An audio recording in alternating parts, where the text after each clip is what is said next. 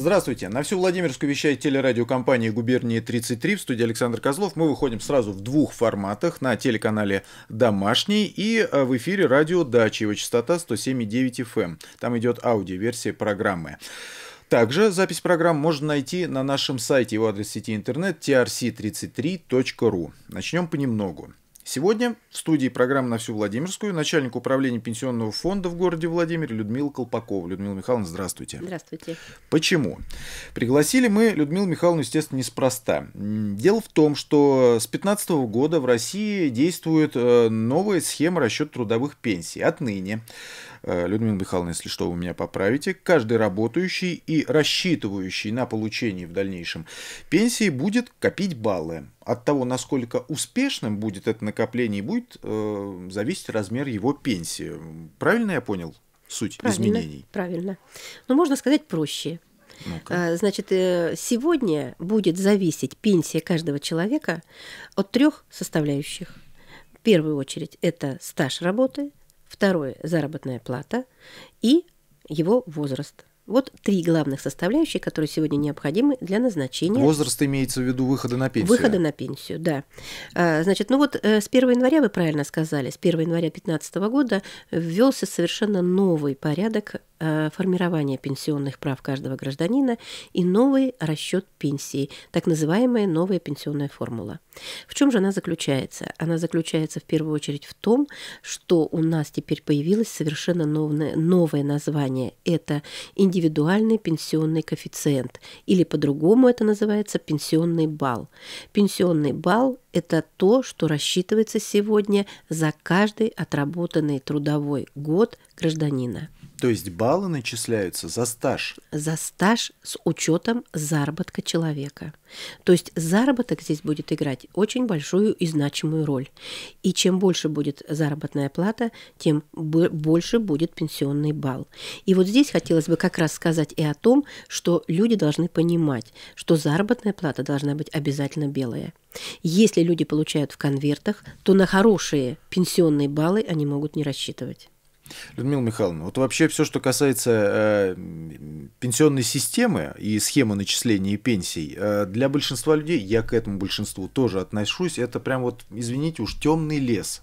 Мы сегодня э, вышли на улицы города, наши корреспонденты, э, ну, решили узнать, одни ли мы такие или э, нет.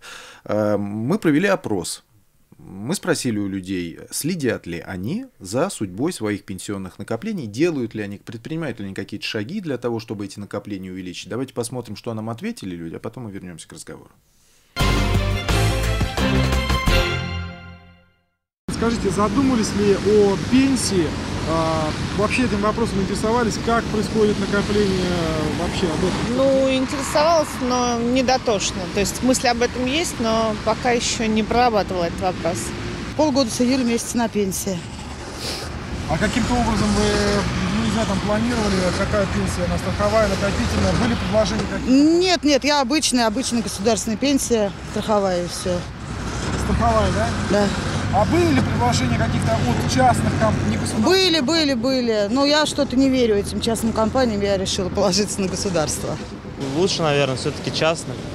Ну, проверь, половина на половину, я бы даже сказал так. Если была бы такая возможность. То есть, допустим, 50 там в частном, ты как бы их контролируешь, смотришь, как они работают. Не понравилось, другую перевел. А часть, ну, если опять же, ну, гаранти, ну, государство будет гарантировать это. Даже пока не думал, даже честно не знаю даже. Ну, не думал над этим. Ну, вот по подробно. Так задумывался, но чтобы какая накопительная, какая страховая, не думал. Ну вот такие вот э, ответы мы получили. Я ведь э, не случайно э, в самом начале нашей беседы спрашивал у вас, понял, правильно ли я понял, в чем суть вот этих нововведений, потому что на самом деле очень запутанные. С одной стороны, вот пенсия – это то, что э, интересовать должно каждого, всем на пенсию э, выходить. Да. С другой стороны, мало кто в этом что понимает.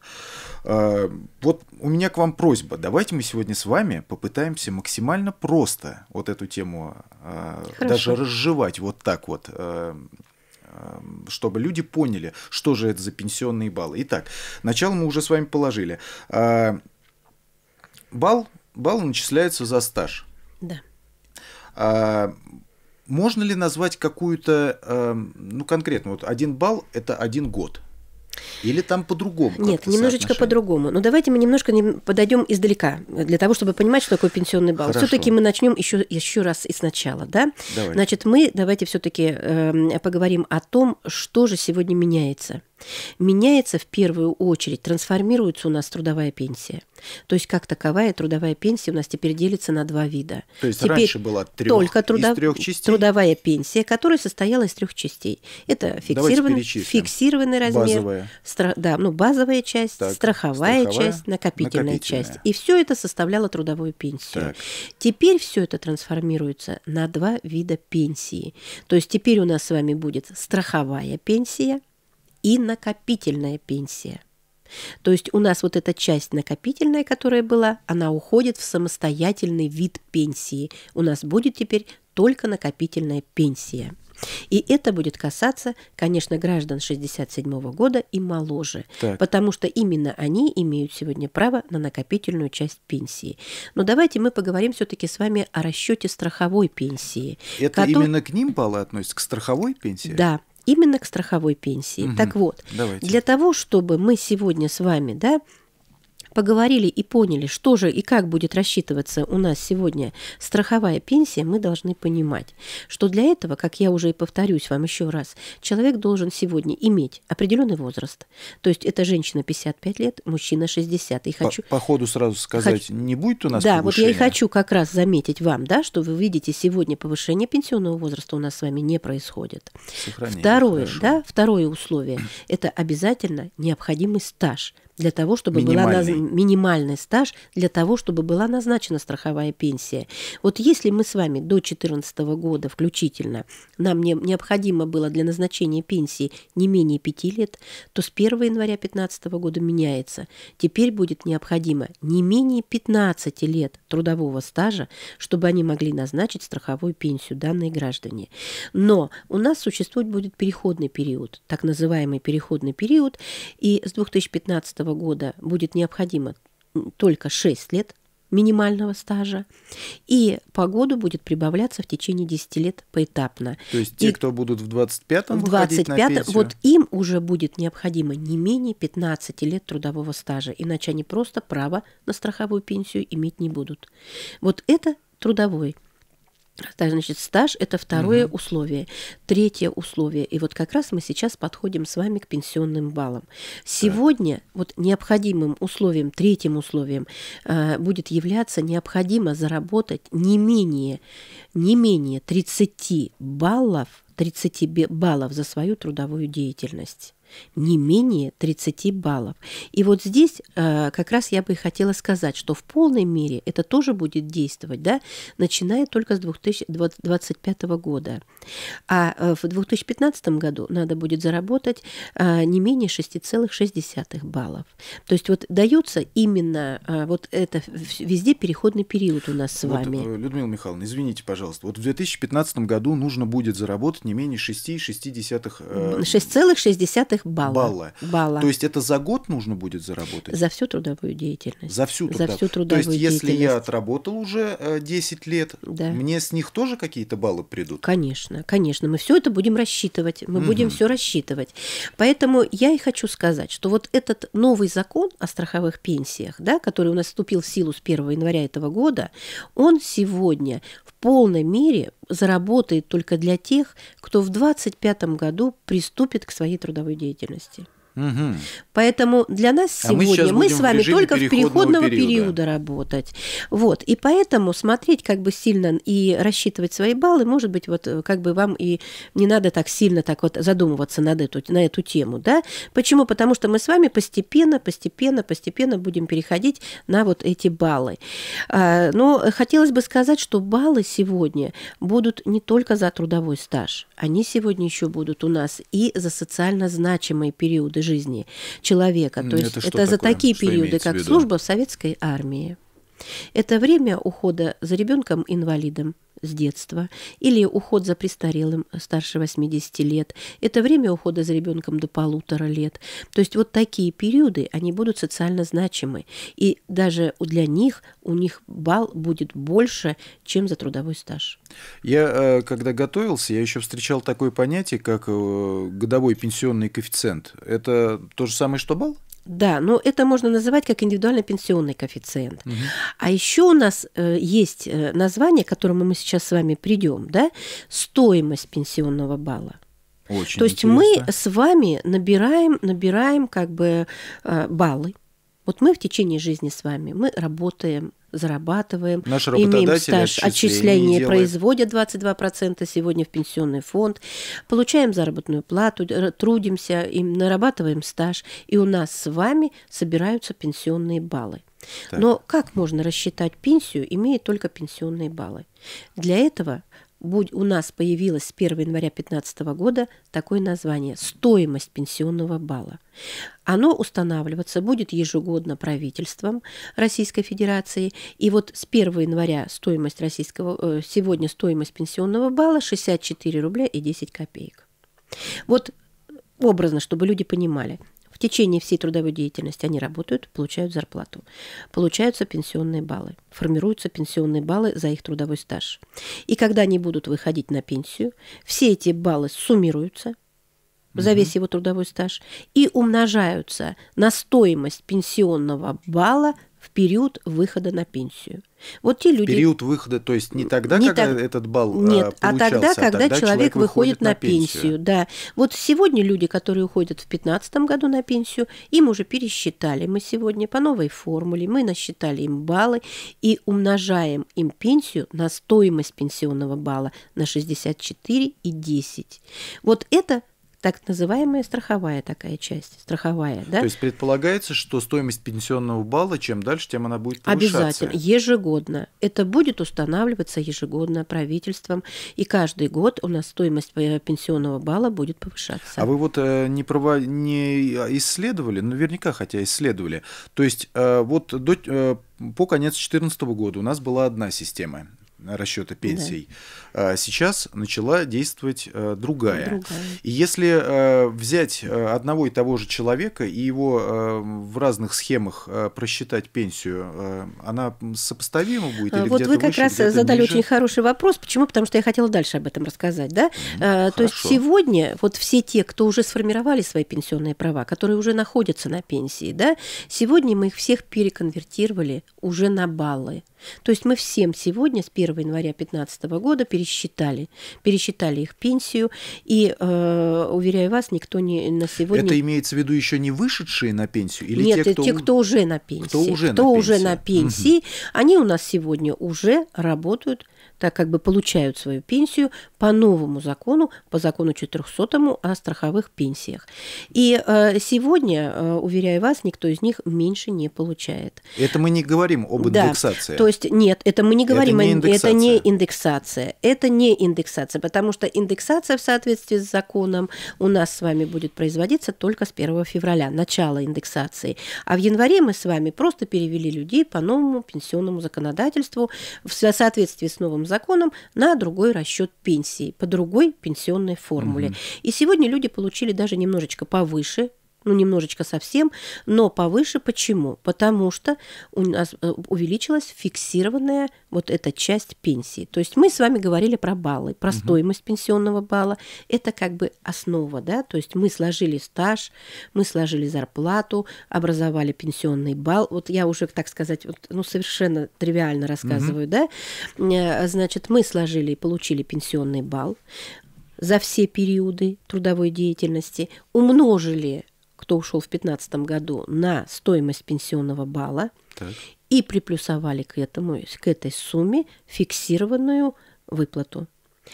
Что такое фиксированная выплата? Ну, она сама за себя уже говорит. То есть сегодня государство фиксированно каждому человеку, уходящему на пенсию, предполагает выплату вот этой фиксированной части. У нее, видимо, размер И она составляет есть. сегодня у нас вот на 1 января 2015 года 3935 рублей. И уже к этим 3935 рублям мы добавляем э, То, что у нас деньги, полу... собранные с помощью баллов. Да, Да, правильно вы понимаете. Вот вам и расчет новой формулы.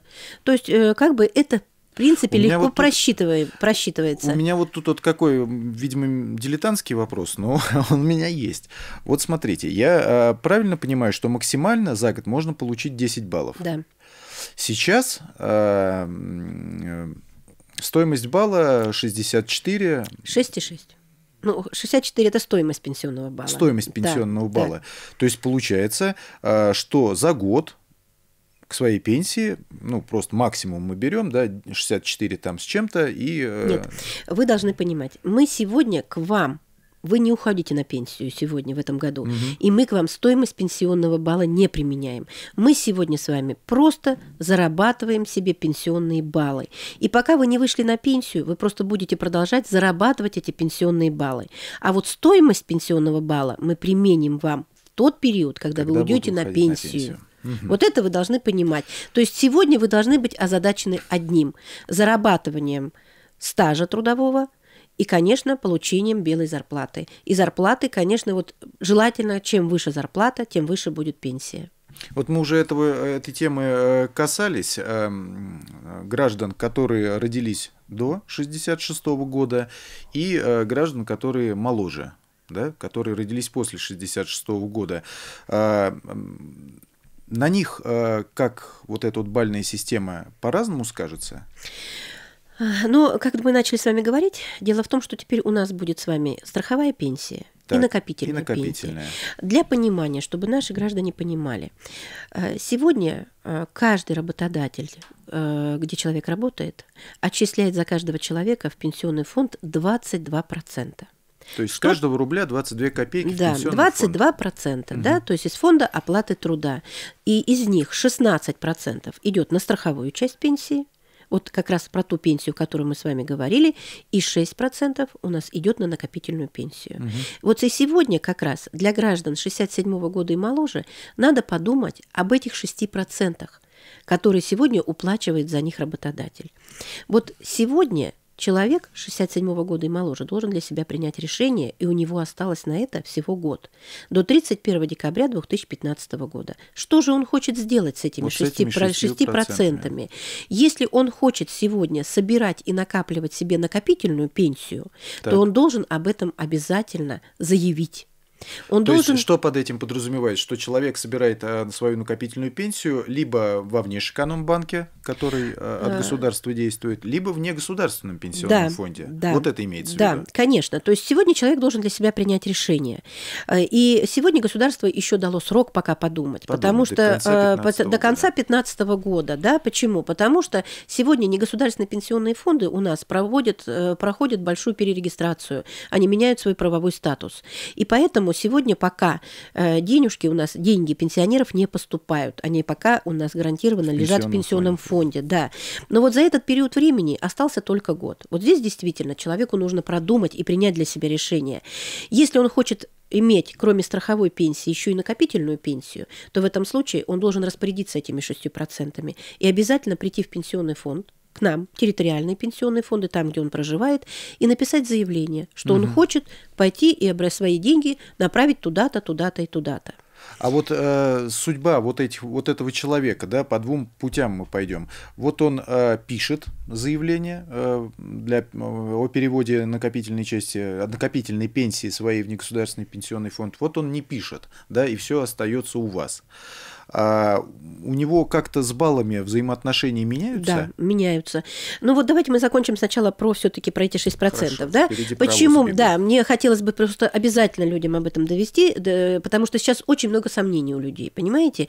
Э, Будируются слухи о том, что кто-то забыл, кто-то не успел написать, и все, теперь крах. Понимаете? Нет, ничего подобного. Есть у нас сегодня, у наших граждан еще целый год, когда они должны для себя принять решение, что же они хотят.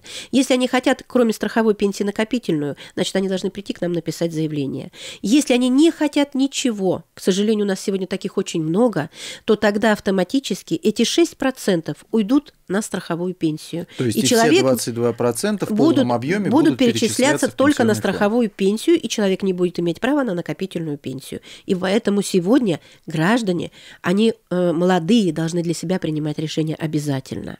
Если человек пришел к нам и э, написал заявление об отказе на накопительной пенсии, то есть он решил, что эти 6% надо перевести на страховую пенсию, то в этом случае у него будет зарабатываться полные баллы. Если он получает хорошую зарплату, если он получает у него хорошие значит, сегодня заработки, то он в год может спокойно э, заработать 10 баллов спокойно, да. Если же он перечисляет какие-то денежные средства, все-таки 6% он уводит на накопительную пенсию, то в этом случае максимально, сколько человек может заработать за год, это 6,25 балла. То есть а есть него... Э, какой-то размер э, совокупного годового дохода, при котором максимальное количество баллов это получается. Да, значит, сегодня в соответствии с законодательством, это тоже ежегодно у нас обязательно устанавливается, есть именно налого, налога, так сказать, облагаемая страховая база, с которой у нас заработная плата, с которой идет отчисление страховых взносов. Вот сегодня, с 1, с 1 января 2015 э, года, она составляет 711 тысяч рублей в год. То есть вот именно 711, если тысяч в год заработал, он заработал уже точно 10 баллов, этот человек. Это имеется в виду без, э, без отчислений, то есть вот Да, оклад, без НДФЛ, оклад. безо всего, это, это его полная заработная плата, без отчислений э, как бы в НДФЛ, да, то есть без отчисления, то есть вот 711 он заработал тысяч рублей в год, это точно уже 10 баллов. 10 баллов. Да. Понятно. Можно ли э, где-то посмотреть, как все это происходит? Я вот слышал, что есть, вы запустили такой сервис, э, личный кабинет застрахованного лица. Это вот там? Сегодня уже запускается совершенно новый электронный сервер, э, который называется личный кабинет застрахованного лица. Угу. Так. И если человек, значит, работать будет э, этот сервер у нас также на официальном сайте Пенсионного фонда России, как только человек зарегистрируется или на сайте госуслуг, или, значит, на, э, э, пройдет регистрацию в единой системе идентификации, то в этом случае он уже зарегистрируется, он получит свой индивидуальный номер, он будет работать в своем личном кабинете. Что же сегодня он может увидеть? Вот сегодня это для людей предпенсионного возраста и вообще до пенсионного возраста я бы так сказала, что каждому, наверное, надо обязательно зарегистрироваться. Почему? Потому что э, он интересен. Вы можете сразу увидеть, сколько же у вас сегодня заработанных э, ваших пенсионных прав, какой у вас трудовой стаж, какая у вас сегодня отчисления идут из вашей заработной платы. То есть таким путем вы можете проверить своего работодателя, а все ли он за вас отчисляет, все ли он за вас сегодня сдает. И вот это вы увидите в первую очередь. Еще раз давайте, то есть нужно зарегистрироваться на сайте госуслуги, услуги. Да.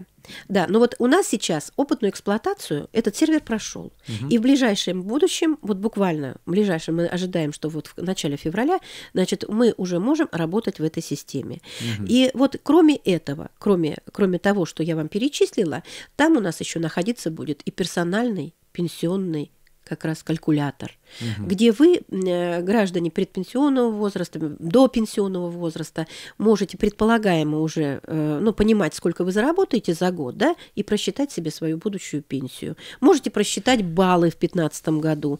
То есть все это будет вас именно называть, так это называется, персональный э, калькулятор, калькулятор, пенсионный, калькулятор, калькулятор. Да.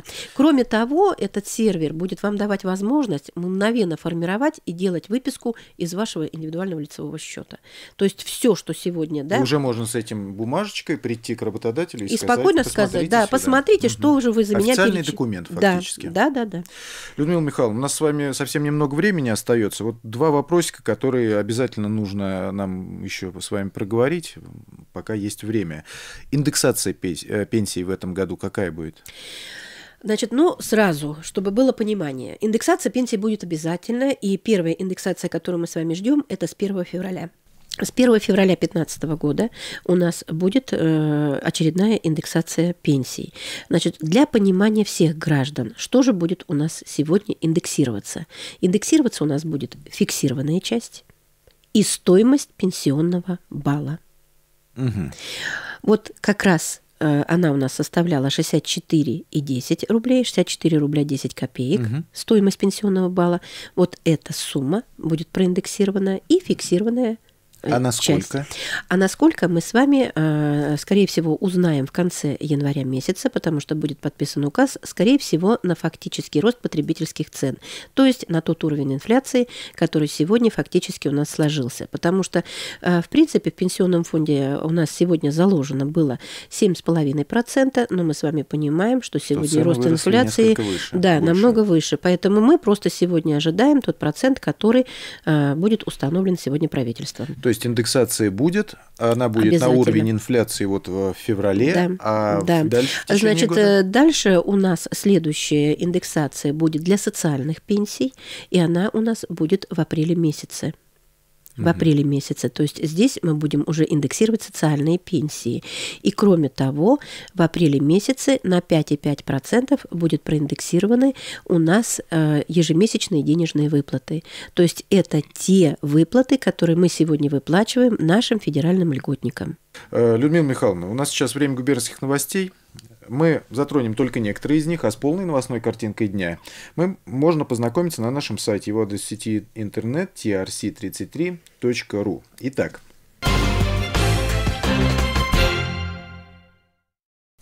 Дефицита соли во Владимирской области нет. Слухи о пропаже соли из магазинов возникли из-за действий Роспотребнадзора. В нескольких регионах он порекомендовал торговым сетям изъять из продажи украинскую и белорусскую соль. Такие меры обычно принимают, когда обнаруживается некачественный продукт. Действительно, в ряде областей проверки показали, что соль нескольких производителей из Беларуси и Украины содержит примеси, а также не соответствует стандартам по цвету, запаху и вкусу. Во Владимирском Роспотребнадзоре нам сообщили, что никаких требований об изъятии соли из продажи не получали, однако проверку тоже провели и нестандартных проб пока не обнаружили, так что дефицит соли владимирцам не грозит. Людмила Михайловна, вы как э, хозяйка как мама, бабушка, наверняка тоже ходите по магазинам. Как вы обычно реагируете вот на такие слухи, то там, что гречка пропадет, там бананы подорожают, соль исчезнет? Ну, вы знаете, конечно, неприятны вообще эти слухи, и я вообще считаю, что как бы это раздувание идет слухов ни к чему, да. Э, Я и сама, и своих работников я всегда нас- нацеливаю на то, что не надо устраивать ажиотажа.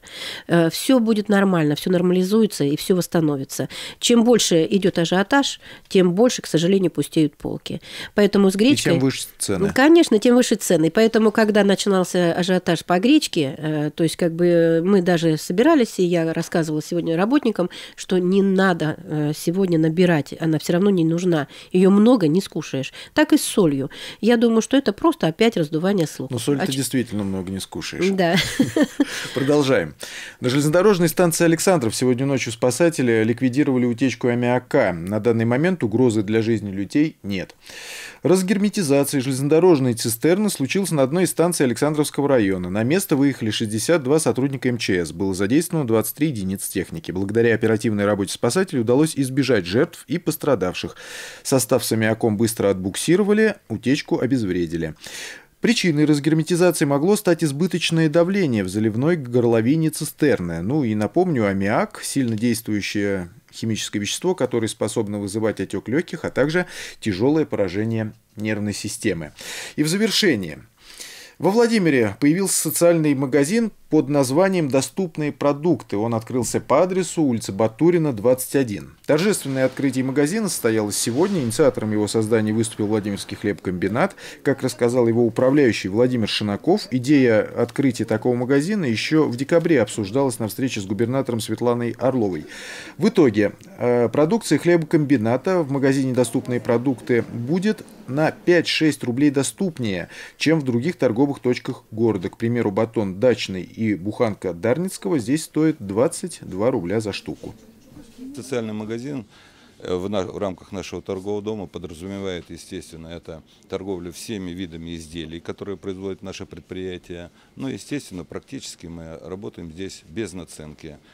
Ну, еще добавлю, что открытие доступных продуктов проект пилотный. Если горожане его оценят, появятся и другие подобные магазины. Людмила Михайловна, вы э, как таким инициативам наших э, бизнесменов относитесь? Вы знаете, очень хорошо отношусь. Почему? Потому что я постоянно работаю, это моя работа сегодня с, нашими, с нашим старшим поколением. И, к сожалению, у нас из них много малоимущих. Поэтому вот такие магазины, они реально будут сегодня э, очень хороши для наших пенсионеров. И я думаю, что спрос на такие магазины у нас в городе, по крайней мере, будет точно. Я даже думаю, что туда не только малообеспеченные Да. люди будут за Конечно, заглядывать. конечно. Да. Я напоминаю, что гостем программы «На всю Владимирскую» сегодня была начальник управления пенсионного фонда в городе Владимир э, Людмила Колпакова. Людмила Михайловна, вам большое спасибо. Я думаю, что это Пожалуйста. не последняя встреча. Надеюсь. По вашей теме можно говорить бесконечно. Долго. Я, Александр Козлов, с вами прощаюсь. Следите за новостями на нашем сайте trc33.ru. До встречи на телеканале «Домашний» и в эфире «Радио Дача». Э, Следите за своими пенсионными накоплениями, просто потому что это ваши деньги. От вашего внимания зависит, насколько радостным будет для вас ежемесячный визит почтальона после выхода на заслуженный отдых. Удачи вам!